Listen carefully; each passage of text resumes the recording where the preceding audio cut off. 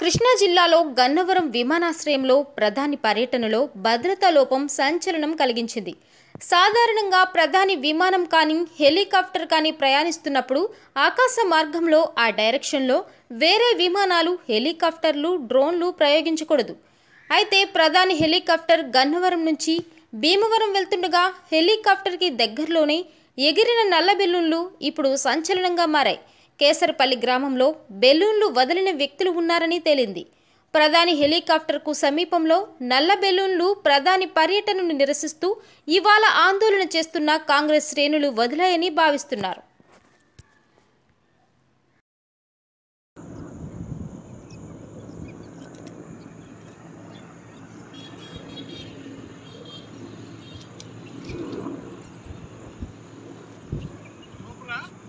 ಒಳ್ಳೆ ಮಾತಾಡ್ತಾರೆ ನಮ್ಮ ನರೇಂದ್ರ ಅದು